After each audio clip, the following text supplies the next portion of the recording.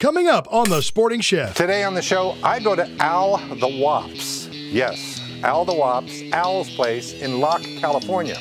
One of my old haunts when I used to um, frequent these type of places. I've got bison burger that's been seasoned with Hi Mountain steak rub. Sounds pretty good, right?